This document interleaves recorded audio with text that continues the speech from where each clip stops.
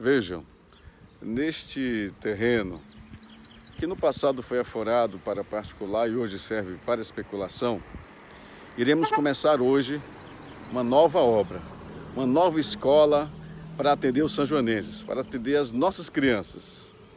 Esta obra, sim, poderá, além de me qualificar a educação de São João do Piauí, poderá, ao longo da sua construção, empregar 40 trabalhadores e trabalhadoras com carteira assinada que poderão sustentar a sua família e ajudar a nossa economia, a geração de emprego e renda.